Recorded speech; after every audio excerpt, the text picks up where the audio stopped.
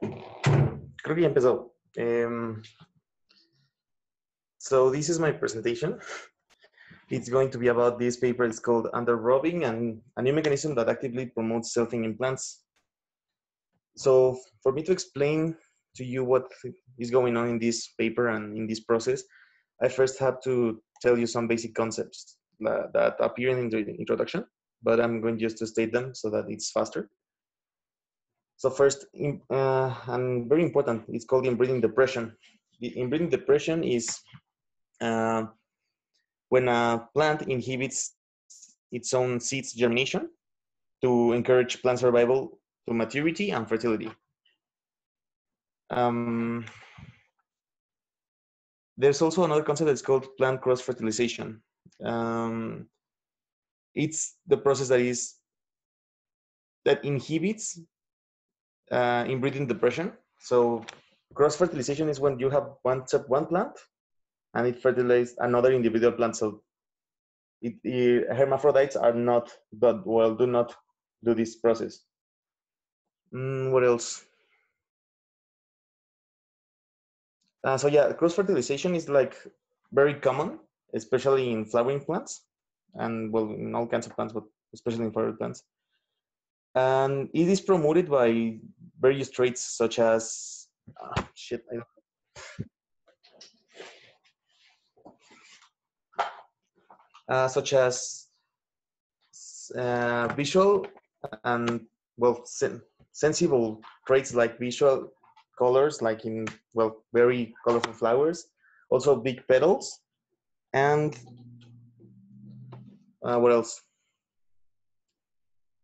ah yeah um, other uh, traits that are anatomical like separation of anthers and stigma physical separation in the same plant. For example, if you have an hermaphrodite, um, or well, they, they have they would have very separately their two organs, so that it will be low. Well, not likely that they will um, fertilize one another. Mm, this is called hercogamy. That's what I said, that the special separation of anthers and stigmas. And another method is dichogamy, which is the separation of gametes and uh, maturation times. For example, well, when sperms are mature, the stigma and the ovules are not mature, so it's impossible for them to fertilize one another. Um, so across the history, evolution, has favored cross-fertilization. Um, as I said before, hermaphrodites tend to have mechanisms that avoid selfing. That well, I'm going to be saying selfing when I say self-fertilization just for short. However, during states of uh, evolutionary stress, like well bottlenecks or when there's a lot of co competence, selfing is favored instead of cross-fertilization. Um, that is something curious, and it's something this paper tries to address, but doesn't do it like very much. mm, what else? Ah, yeah. Mm. Uh, uh, and some of the traits that are related to to selfing plants is that they are not very attractive for pollination. And one of these plants is the one we're, the, we're going to talk about in these papers that is called Erucastrum incanum so this plant displays these characteristics. It has, uh, well, it has very small flowers, uh, yellow, but they are also kind of greenish, as I, we're going to see in following um, figure. They are also, they doesn't, they don't produce a lot of nectar. Very, ah, very little nectar. That's what they produce. So it's not very attractive for pollinators. So it, this is what the authors think that caused the plant to evolve this system of selfing that is very particular and that hasn't been found in any other plants. Mm, it's also an annual monocarpic. And uh, for the experiment, they used three populations. All of them are from African region. However, one is Iberian, so it's nearer to Southeast Spain. And the other ones are from Morocco, Morocco, one in the one in the one in central Morocco and one in North Morocco. Um, they calculated the hercogamy values that remember hercogamy was the separ- the physical separation of anthers and stigmas to avoid uh, uh, self-fertilization and they and they found that they were well obviously very little. Um, mm, and then then then use several processes to for this experiment.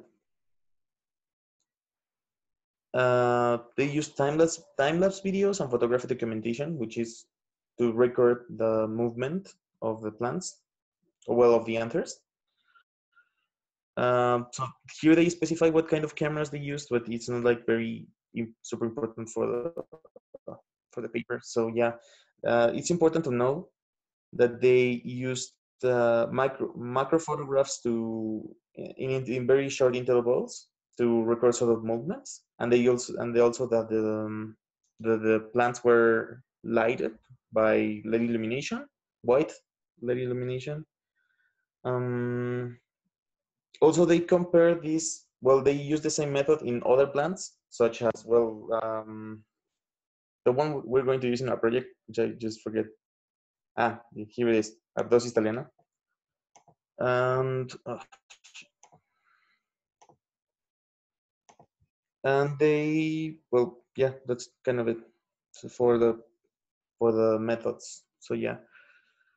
Now the most important part is the breeding experiments and fitness assessment that they did um, so they did several experiments in these plants in only in our target uh, species that is Erucastrum incana. First, well, you, you need to know what emasculation is. Emasculation is the removal of stamens and thus the removal of anthem, uh, anthers. So first, they, they did um, five overall experiments in these plants. First, they, they did emasculation before stamen movement. This is prior to flower opening, meaning that they would not have fertilization by under rubbing. Uh, then they used uh, emasculation after stamen movement, which is right when the, the rubbing stops, they remove the stamens to see, to be able to test reproductive output and maturity of the pollen. If it, meaning that they wanted to know if the pollen was mature right after rubbing or it, it need to go undergo another process to go to get to full maturation. Then uh, they also they do another experiment that is autonomous selfing that they were just control flowers they did nothing to them. They were just there.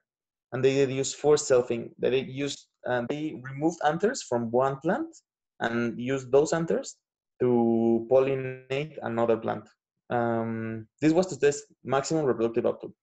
And no sorry that forced selfing is they remove the anthers and they then pollinate them without using the natural method they just took it and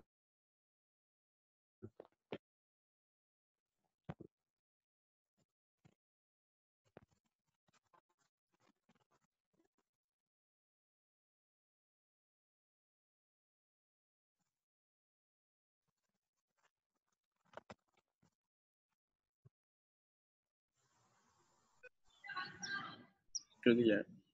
¿Ya? Eh, Sí, ya, ya volviste. ¿En qué? Where did I? So I don't know where it stopped recording. Okay, so yeah, forced selfing was the removal of anthers to hand pollinate, which means that they took the the the anther of one of one flower, and then they well yeah of the same flower, and then they just took it out and then it did it themselves. They the rubbing. And that was just to test maximum reproductive output, so they ensure that they used all the pollen that was in the anther. And the last experiment was outcrossing. So first they uh, removed uh, the anthers from one plant and used them to pollinate another plant. So that would that's pretty much it. Um, for each procedure, they calculated the fruit setting, which is the fruit sprouting, fertilization rate, that is ovules of, over fruits, fertility, that is number of seeds over fertilized ovules, ovules, and seed production, which is number of seeds over ovules. It doesn't matter if they're fertilized or not. Um, so now we'll go to results. So here, ah, let me just.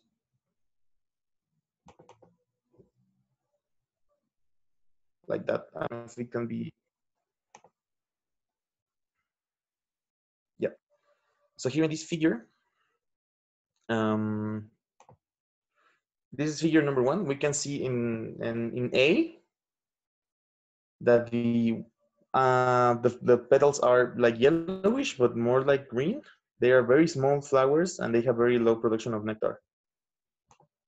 Um, we can see that the anthers are facing inward towards the stigma that is in the center of the flower. I, it cannot be very seen very well, but it's like where my cursor is right there. Um, yeah, so in that is in figure A and B. That's what we can see there. Uh, the pollen was visible in the anthers, which is figure C. This is an anther, and these little dots, like that are there, that's, that's the pollen, the pollen grains. And in hmm, in B, we can see this is now an, a stigma. Well, it's the same picture, but now the pollen is in the stigma, which is uh, there by the white arrow. That's the stigma, and then the pollen grains are right there. So that's after rubbing. Now, in this photograph that we see here,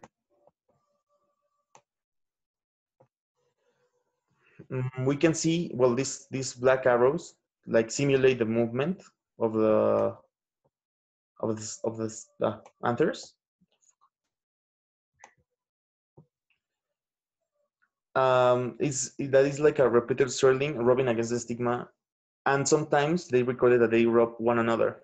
This is not why it happens, but that it just happens. So, yeah, that's what. And in this uh, little, uh, I don't know, uh, figure that they draw here, it represents the same movement. So the center line, this one, is the stigma, and these things that look like beans are the anthers, and they move circularly to rub against the stigma.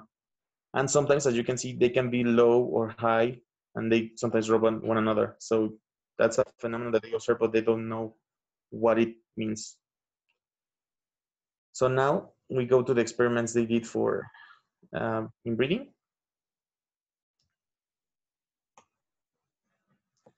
Uh, so you can see that for emasculation before uh, maturity or before rubbing, nothing, there was no results in any of them, neither fertility or fruit set and fertilization or seed set, which makes sense. But it also tells us that these plants have no way of reproducing by uh, outcrossing naturally. So these plants cannot um, reproduce if it's not with themselves. I, I don't know if I'm explaining if I'm, well, yeah, that's what it means. In all the others, which is this one is emasculation after maturity. This is um, what autonomous selfing, which is the normal, well, the natural way. The forced selfing and the outcrossing, which is well also forced outcrossing because it doesn't happen naturally.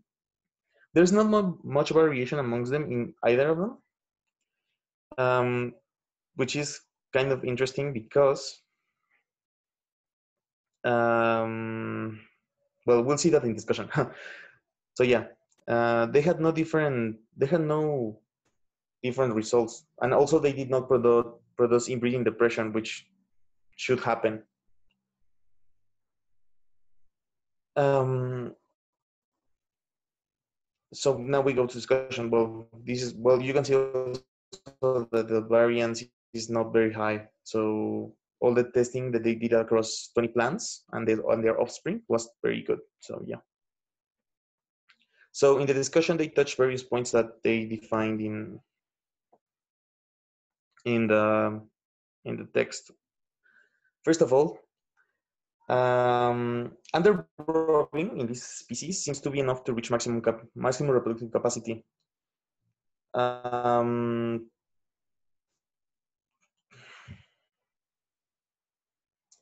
They also observed, like I also, I previously said that they did these experiments, well, only the photographic ones in other species, especially in A. thaliana.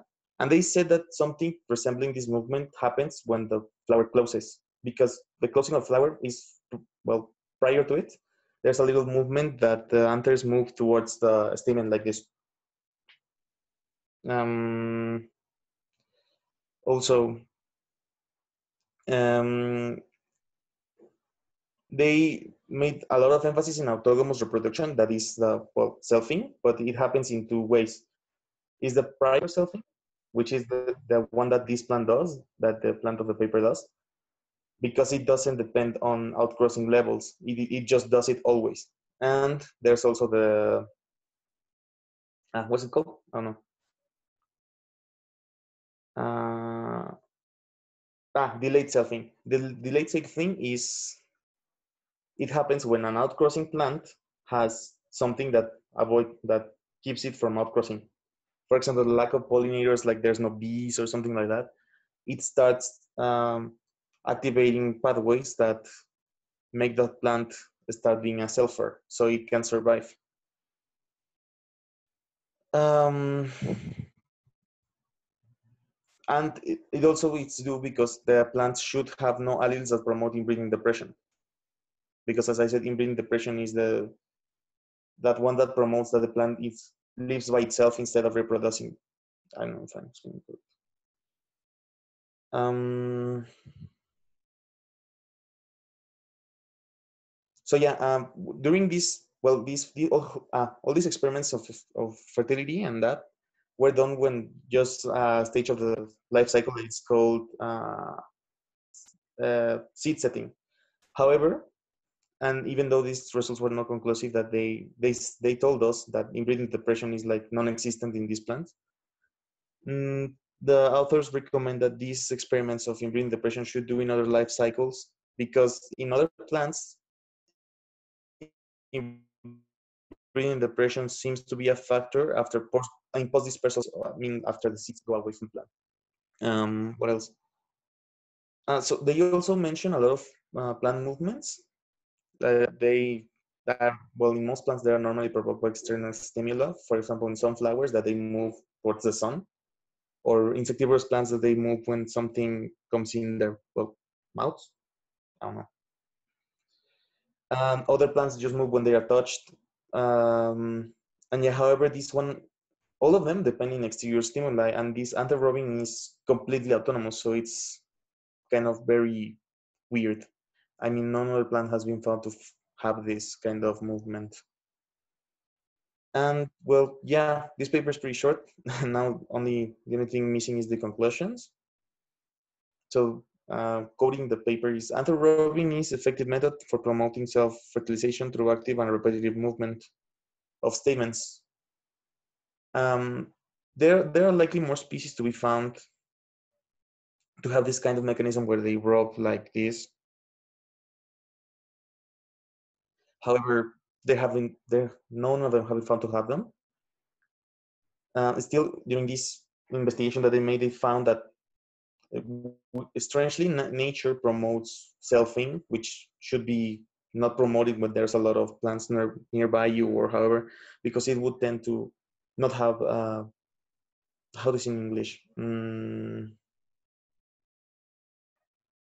mm, intercombination of genomes because you will always be uh, reproducing with your own genome. However, nature seems to be not scared of this, and plants keep, well, more and more plants keep turning to selfing instead of just staying without crossing.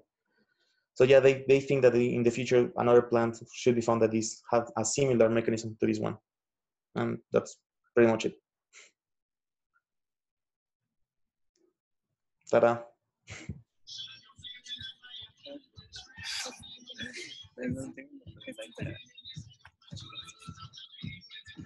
Ahora se escucha la música, ¿verdad? Ahí sí se escucha. Sí. Pero sí nos escuchamos, ¿no? Sí. Ok. ¿Preguntas primero? Pero no tiene gran Ah, ok, sí. Sí tienes la pregunta. Um, okay, maybe I have like a question, like, what could be like an applicability of this? Like, maybe, I don't know, like, for having a better production, or I don't know, do you think there's a, an application for this? So, well, in the paper it doesn't say anything, but maybe because in if you just like if you want to be to clone something, it could be a method alternative. I don't know how much better or how much worse it would be to propagation. But if you want to clone something by making a little easier, like just ripping off the anthers and put it in another one, well, selfing plants that selves would keep mutations or variation at the minimum.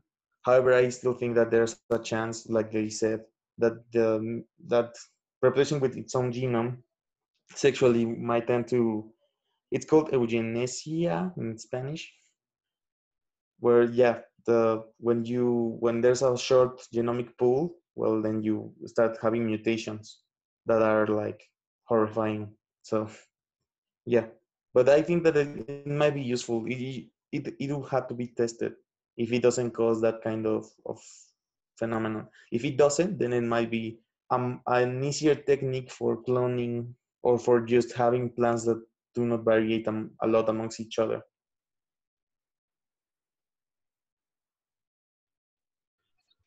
Uh, I have a question also because I don't know if the article um, talks like about how the movement is promoted or if there are like chemical factors or transcriptions of something. I don't know or what the no, they, they or the possible causes. I don't know.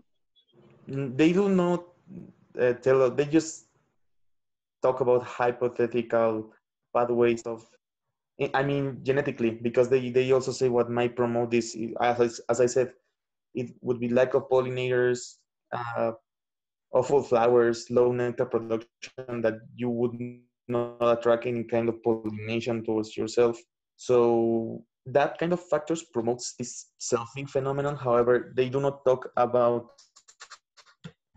genetic pathways or specific genes that cause this or that favors this they just say that they exist so then no they don't talk about that per se like yeah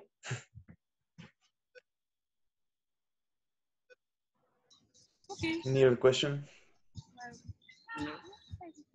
no okay so that's that would be it for me i'll be expecting your presentations and yeah Okay. I Le will- podemos pausar. Sí, sí, sí. Aquí. Si quieres. pon- bueno. mm, Ahora sí ya está en la presentación, ¿no? Sí Y como tres veces sí. Well, I'm going to give a presentation of this article that is a three-dimensional fiber scaffold as an investigative tool for studying the morphogenesis of isolated plant cells. It sounds like a kind of long, but actually is pretty simple, but actually really cool what they did. So in a nutshell, what they did is that they created a new method to cultivate in a 3D manner cells. So the benefits of doing this in a three-dimensional way is that it mimics more like a um, reality of what the cells experiment. And this was um, made by using biocompatible scaffolds.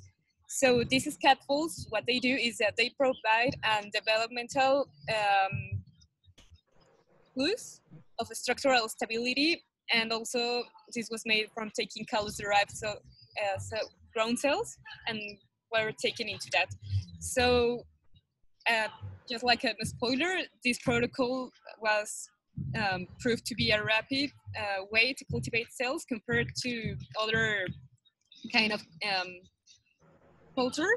And also, they found a lot of things that are useful for further more research. Like, for example, the cells have different morphologies when they are inside the scaffold. And also, it's really interesting that these cells maybe uh, I mean, these scaffolds and kind of uh, culture method can be escalated to other kind of, of uh, plants. And also, it's really important that they discovered that there's a scaffold cell interaction. So, I'm going to explain it more in detail about this. And a little bit of background about these um, scaffolds is that in plants, uh, there wasn't, before, there wasn't really like a 3D um, culture. I mean, in tissues of mammals and other animals, yes, there was a previous research over like for 20 years, but not really in plants. So in plants, there was, there was only like 2D uh, methods, and also like there was like a microfluidic channels that that could be like considered as a 3D method, but it wasn't really like an environmental uh, structure, so it doesn't really mimic the native uh, conditions. And so with help, like for the um, previous research of animal scaffolds and 3D culture, they decided to test this in plants. So just like, like a little bit of background of what is a scaffold, a scaffold, or maybe like an andamio, is um, is like one of these is like a temporary structure that helps to um, like like to give support and to reach to parts that otherwise it would be like impossible to reach. And it's like a basis for something. So in this case the scaffold they use has to have different oh, has to have different um, properties. Like it permits cell penetration and it has to be biocompatible. Also the fibers it has to be tissue specific and have certain mechanical properties. So with this what the polymeric microfibers give they do give like these mechanical properties that they need but they do not have the um, like a biocompatibility or cell penetration thing. So in combination with nanofibers that do they have the mechanic the um, nanofi- the I mean like for the cell to attach better and to have like better penetration, they mix them and get like a good scaffold for this purpose. So this is like an animal scaffold. So what they do is they have the scaffold and like the base and that cells get that as a, like a guidance to develop different structures, the, the extracellular matrix, and so on. So for building the scaffold, uh, they took into account these properties that I mentioned before.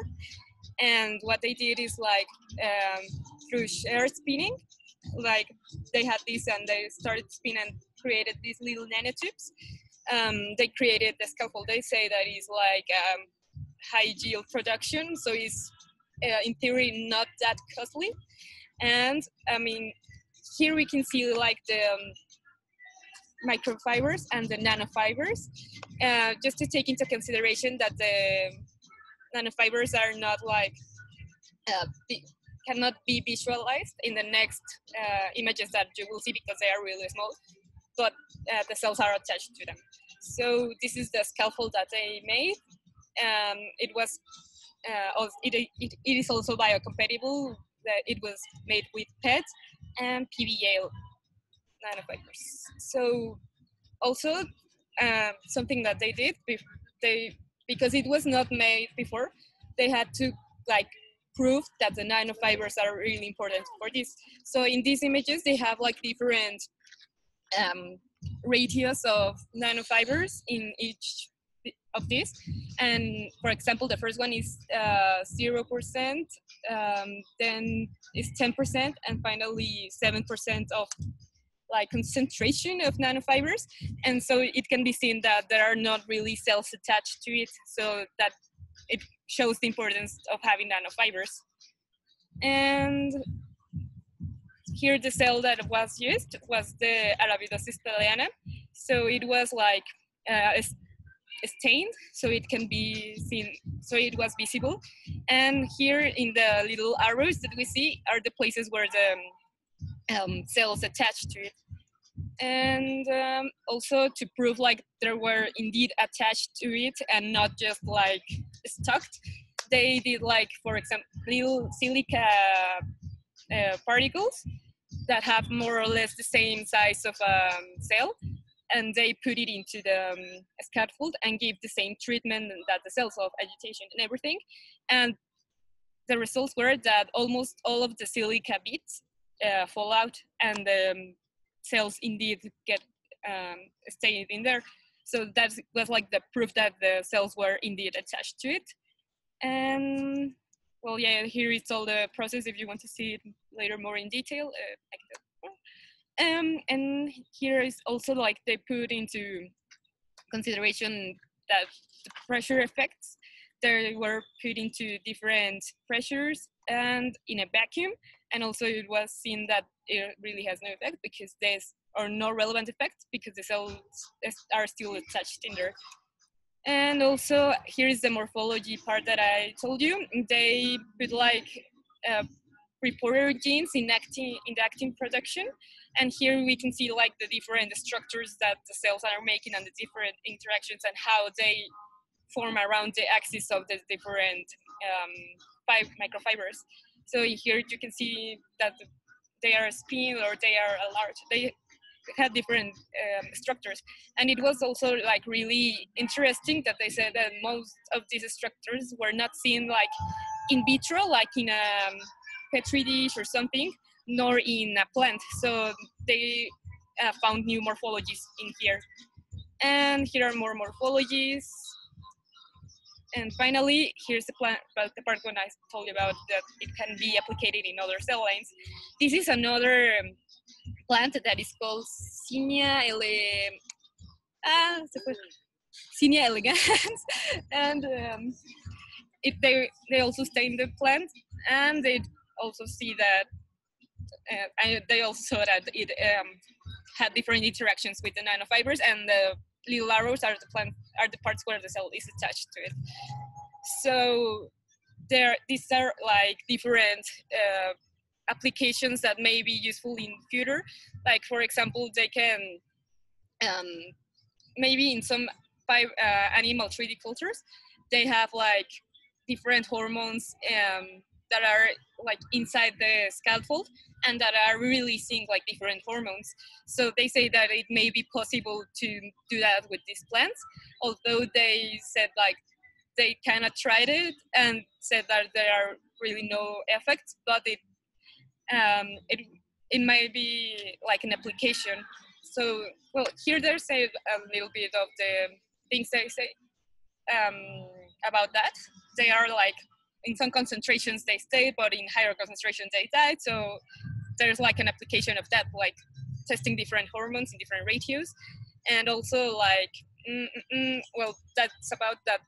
Uh, another uh, protein was affected, the G- GFP, that with the hormone radi- different hormone radius, um, it uh, continued producing and the cells were living, but there was no G- GPF production.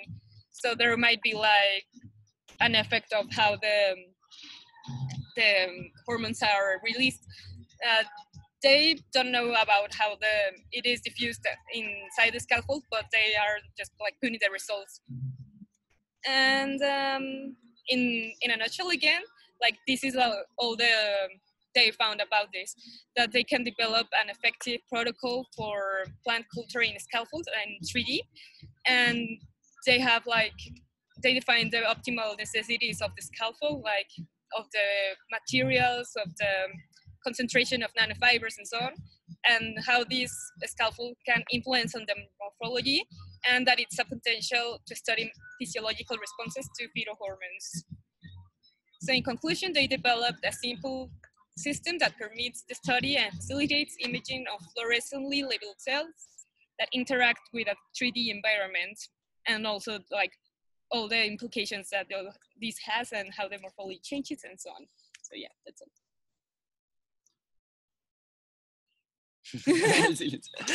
but I have a question because um, you talk about the morphology can change because mm -hmm. of the structures of the scaffold. So why this is important or why it could benefit like the culture? Um, it is interesting that they found that these morphologies are different from what are seen like in different types of culture and in also in plants. So it's like um, maybe how they change or maybe the what they do. I mean, for example, we have a different morphology of cells in epithelium and in heart cells, and they like have different functions. So maybe their morphology can be linked to different functions, and maybe they have acquired different characteristics while they are in in a 3D scaffold. So maybe they are um, they in this way they can be useful for another things, or maybe they uh, do other uh, proteins. I don't know. So but it was interesting that they actually never even saw this in in plants so it's like for a like for the example the morphology uh, per se is not useful but the change of it and what it represents i think that it's really interesting and can mean so other kind of things So then I don't think I don't know if the morphology, for example, if we want to create like a like a mm, animal culture, Mhm. uh, the morphology if you change like the morphology in some cells, you can like affect the whole culture or the whole functionality. I don't know. I don't know if we have the relevance the morphology with the function of the of the plant of the organoid of, of everything. I mean, like, should, it might be. I mean, maybe the way they are arranged it informs like another kind of functional tissue. But I mean, I'm comparing it, like, for example, to um, um, um I don't know, my like mammalian uh, or animal culture tissue. For example, you're interested like in the kind of morphology they will have. For example, if you want like a scaffold for making uh, knee tissue like it would be you will have to adapt to the different kind of cell morphology that you want so your cells are all uniform and can perform the function of the need you want so maybe like in that case you will have to experiment in order to get the, the, the relation So I have, well, I don't know, it's like an observation. Um, so do you think, well, yeah, it's a question. So do you think that um, this change of morphology in plants could be able to help with problems like um, accommodating plants in soil so they can use better nutrients distributed in this soil or like in reforestation that you can uh, force plants to grow with pat- in certain patterns that are favorable to the proliferation of plants and the well yeah the growth of new uh, organisms in places that should not be able to carry them anymore or something like that. Mm, I mean, it could be if you link, like, for example, this thing of the relationship of the morphology and their function. So I think it might be useful, but you also could have to like characterize that. Like, if you want them to like produce more CO2, or I think that there's like it would be more important knowing like the genes involved in that um, in order to survive rather than the morphology. I think. yeah yeah i mean it because well there's plants that have spatial necessities for growth so that may help to make some some parts of soil more efficient i mean if you can make a plant through morphology like use the space some other way or need less space to develop then you can then you should have a higher productivity and well yeah that's what i meant i don't know if i Oh, okay, okay, okay, okay. Like to make plants in order to adapt in different spaces. it, it was a question. no, Little. no, Ah, sí se no, puede. sí. You did. like what you mean is that you can make the plants to adapt in different spaces, no?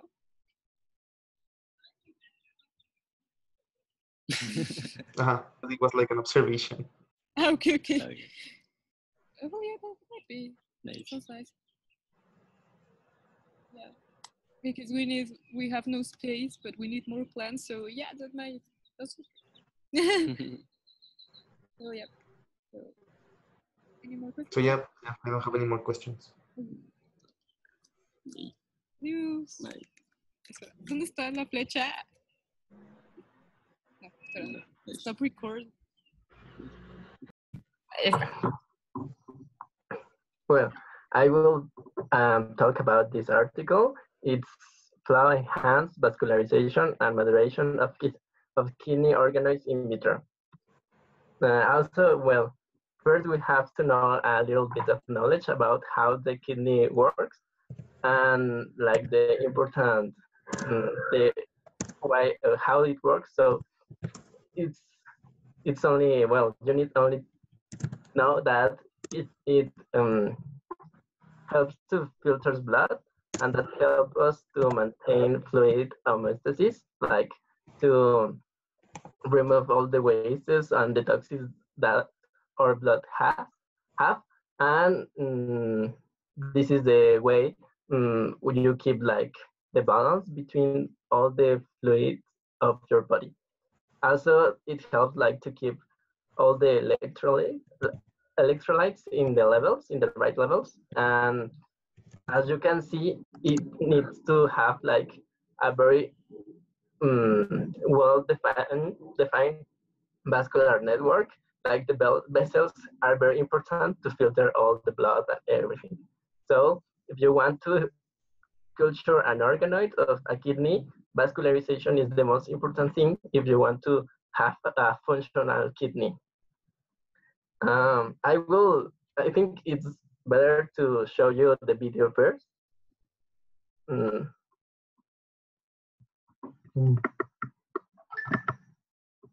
Mm -hmm. But I don't know if you can see it, so if you don't see it, just say me, please. ¿Sí lo ven? Ah, ¿ya está? Sí, bueno, se tengo que proyectar otra pantalla, ¿verdad? Yo creo que sí. Ok.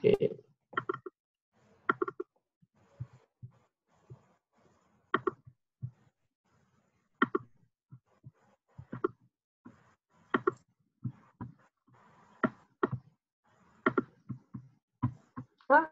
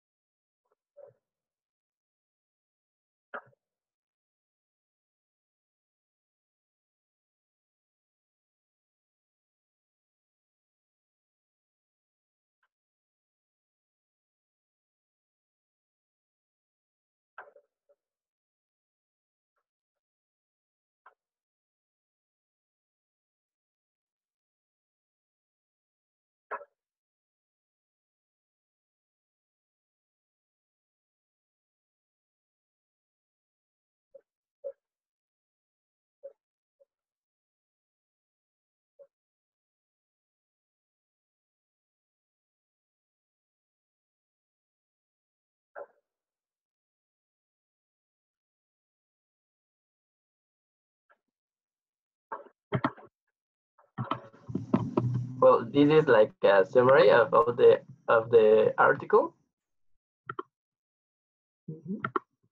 And like the it's like the results that they obtained, but I will talk about the questions that they want to answer. And they want to answer four principal questions. The first one is like how factors affect the culture of kidney.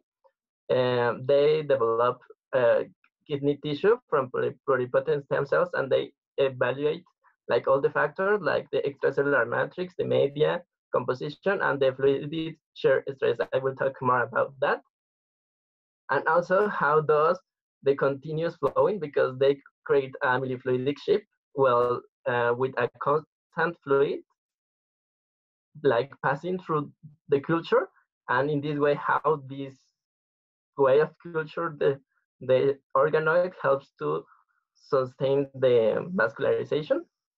Also, the question number two was if they they really obtain like a perfusable vessels because they need to filter and pass things through the vessels. So there the, those vessels present these perfusable like activities. And the third question was like if the kidney organoids are mature or present morphogenesis. or tubular epithelia, as we can see in the last class of culture in the class with Merjem. It was like uh, the epithelial deformation of epithelia. They like they, they have uh, the shape well defined. If those those kid, kidney organoids have this formation, and therefore is that the um, they really have the maturation of podocytes, and podocytes are like the most important cells in in the kidney because they have like the real function of the kidney. They filter all of the blood and have a very specified vascularization method. So they want to to really prove the, the, the function of the organ. How did they do for answer the first question? It was they created the millifluidic, as you can see. Mm. Well, I I try to have like a pointer, but I can't.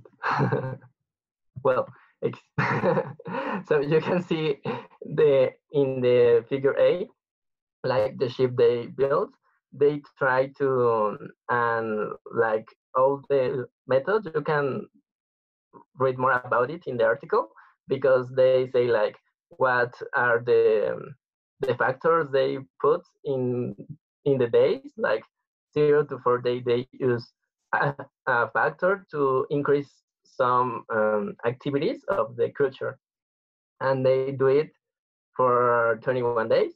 They then they study the the extracellular matrix how, how what, what is the best way to have uh, the culture and they put uh, adherent and non-adherent extracellular matrix they put uh, for adherent gelatin gelatin, gelatin I, fibrin, creo, sí, fibrin, perdón, sorry.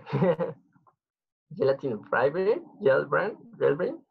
And for non-adherent, they use plastic glass and fibrin and a lot of factors. So they don't show all the methods and how many times they do, but they show like the main results because they study like a lot of factors. And in B, they study uh, some factors. DAPI is for to show the cells because it stains the, the DNA. MCAM and PECAM1 are factors of vascularization. MCAM is a precursor of PECAM, so it helps like to see the um, decoration of vessels. Um, but XL is also a receptor for uh, podocyte cells, which are like more developed ones. And as you can see, adherent extracellular matrix have more vessels and well formed because the colors of the precursors are, are more intense. Also, they try to, in C to E figures, they show like all the progress between the days, the 12, 16, 16 and 21. And in F to H, is like the photographs of, of, the, of the organoid, like to see how it is growing. Then also they try to um, culture them in like a lot of uh, ways.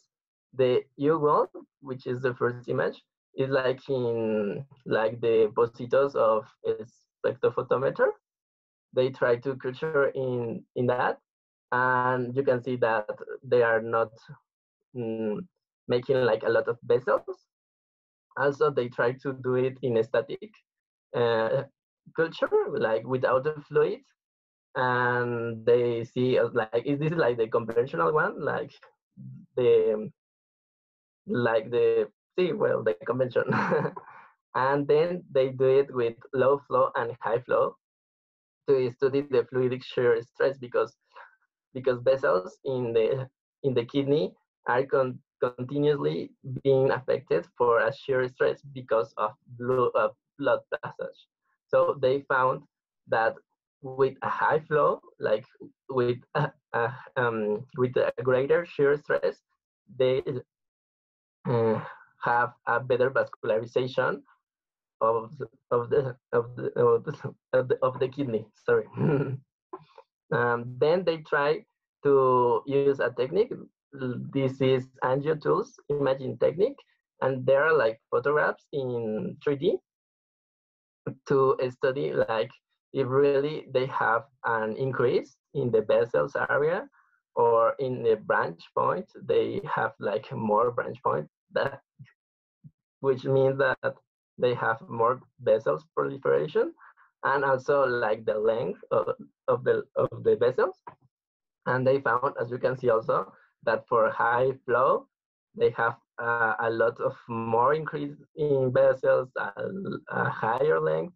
So it increase a lot of enhance the vascularization they do a, a qPCR in the figure n to um, um, like quantify the transcript for PECAM factor. And also they show that high flow, with a high flow, they can have a more PECAM transcripts. So also that helps to vascularization. To answer the question two, they study the, the factors that activity the vasculogenesis and angiogenesis.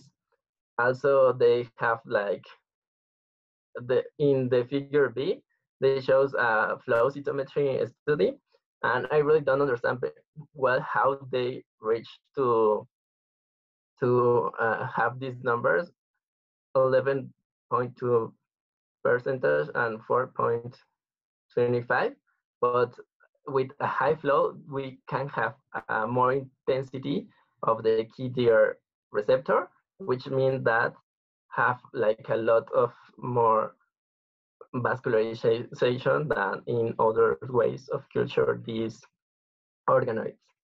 And to E to E is also a qPCR to measure endothelial cell markers, as I mentioned, but they are different. Uh, for example, they measure PDGFR beta, which is a transcript for protein and is essential for vascular development. So we also see that for a high flow, they have all these factors. Mm, in the next photograph, in F, and they also make that, uh, they stain the, the, the proteins of the membrane, and they show us in the figure F and G how all the markers express in the same zones, like they are mm, expressing in the same places. So there is a vascularization in the same place. Then in the figure H, um, they change like the axis of the of the photographs and to see like the lumens. Uh, the lumens are like the, the ojitos where the blood will pass through. So as you can see in in here, uh, there is like a mm, black thing, and this thing is like the vessel. They are forming like the bolitas. And then to E to G, mm, well, E to K is like uh, a, a, photograph of the with a microscopy of the tissue. There are they shows how of the lumen is forming also the bolitas, and in K is like the control because they this is like in vivo uh, photograph of the kidney vascularization. So we can see like the same as the figures. And also they try to be how if they are really perfusible, like to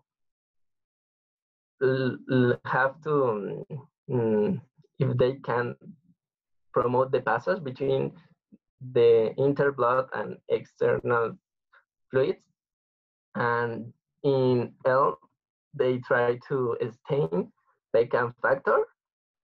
And in M, they put like beads in the fluid that are um, bolitas of 100 nanometers diameter. So they found that the beans are in the same zone of PECAM1 because um, the it gets blocked with the passage.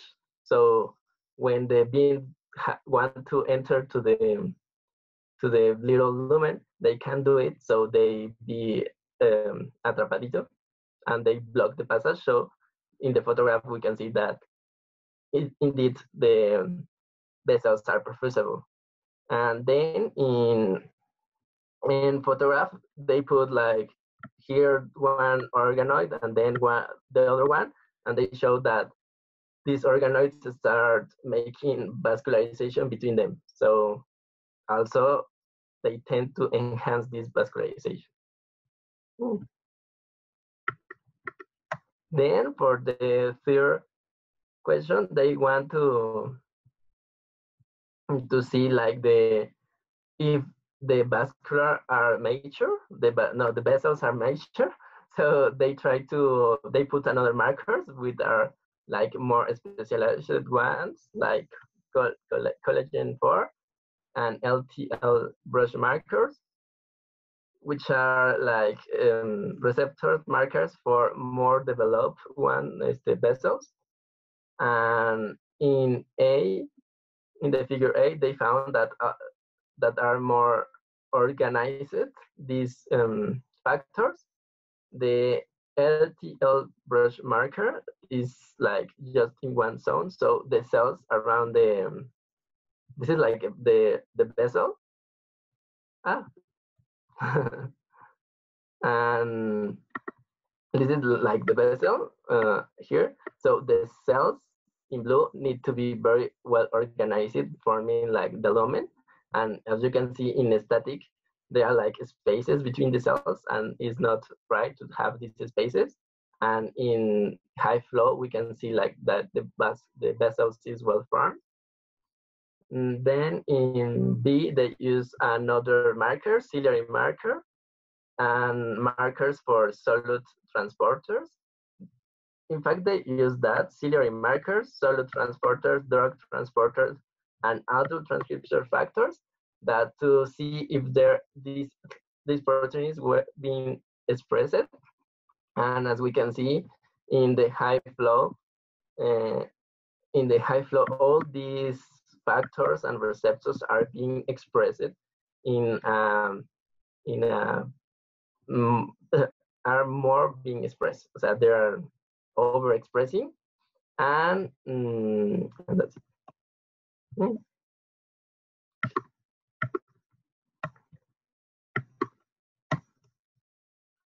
Also, they take photographs also with the AngioTools imaging technique in 3D to measure of all these vasculature surface area.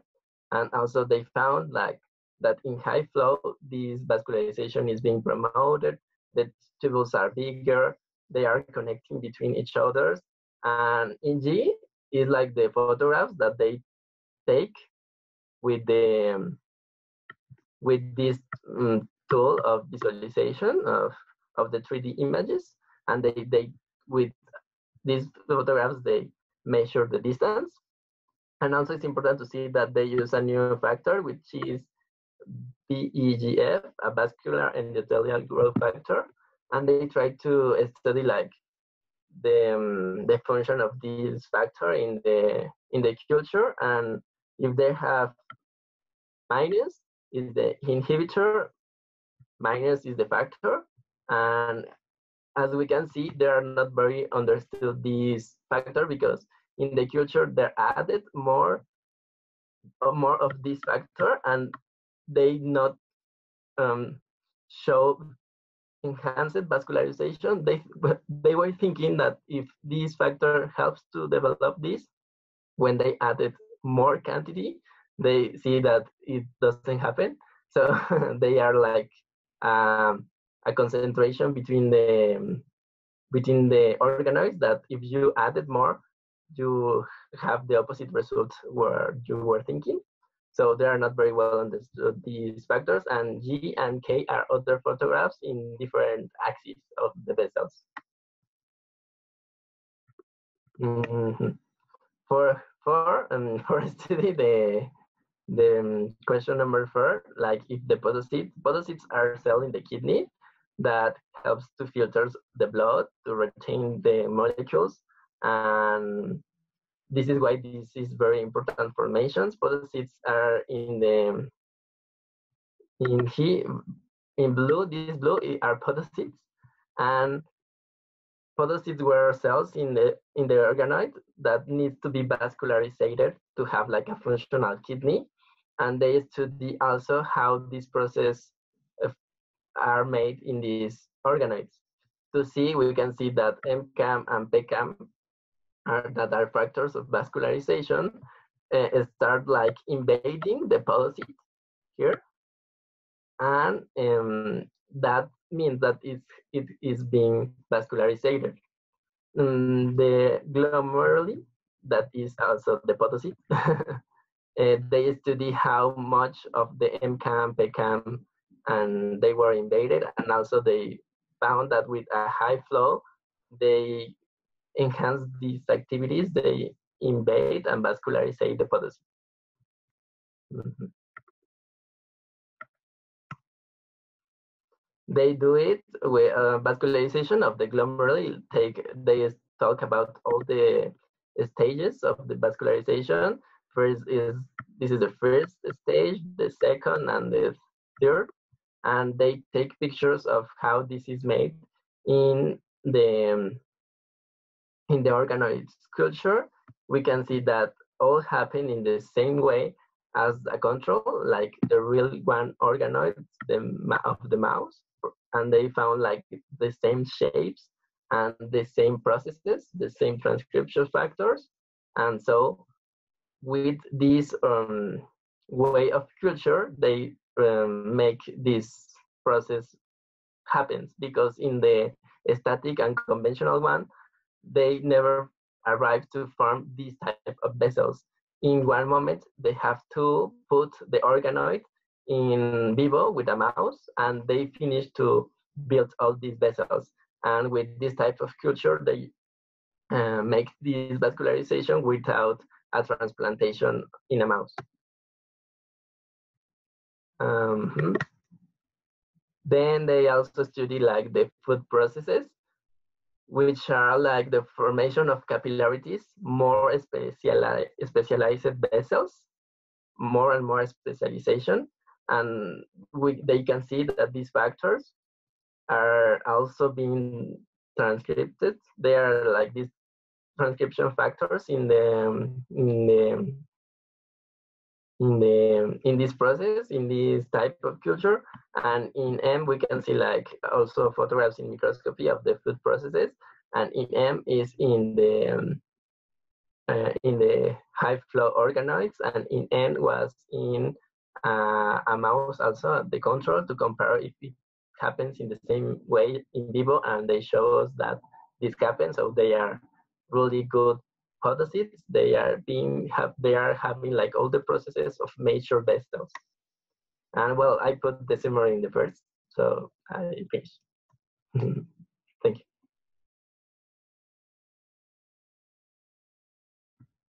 nice So I have like a question. So well, like two. So basically, is just like um mechanical and chemical factors, right? That induce like um vascularization. Yes. Okay. and and the second question, just like that was just like a problem. and like the second question, well, is more like for again application. Uh, I liked uh, that part of looking forward. So it's like, do you think that maybe in the future this technology can be used in order like to make a complete tissue that can be inserted into someone who has like a liver damage or even maybe create a liver like you using like this knowledge? I don't know. I think it's like to a question like it's like in, is not very well developed these techniques because of they are like a lot of factors taken in account. In fact, they try to, as, as you can see, we don't understand very well how the VEG factor, that is a factor of vascularization, works. And also, I they um, try to use them for like testing drugs effect and for studying pathologies of kidney. So I think is um, this type of uses of a, a complete or organ is far away, but as we can see we are making little organoids that are functional, and I think it's a great advance. But maybe in the future we can understand when we are understanding all these factors, we maybe can create an organ, an entire organ. but for the moment, it's just for the um, application of drug tests and pathologies, sick, bueno, of sickness and everything like that. Okay, perfect. Um, so I have a question about, um, so like in, in vivo, these things happen due to signaling centers or these um, signaling factors are like produced just like that or how do they work? Like what? The factors of vascularization? Ah, MCAM, PECAM? yes. Uh, well, as in this experiment, they developed um, the kidneys from um, stem cells, from pluripotent cells, not stem cells. Well, well yes, but there are pluripotent cells that we know they develop um, kidney tissue. So uh, they will do these factors at some point because they are necessary for the vascularization of the of the um, of the tissue, as you can see in in the image A of this of this slide. Okay, the the air is like the a receptor of the stem cell, which was like the very first receptor that will will, will be in the um, in the pluripotent stem cells, and they will have all the factors MCAM, PECAM that are factors of vascularization. But in I think in vivo is like the same way because um, the the pluripotent cell would have signals to to develop of these all these factors, which are factors for vascularization. So yes, they use the same factors and like the same way, I think. Okay. No more questions. Now? so we finish? Yes. Yes. Gracias. Thank you.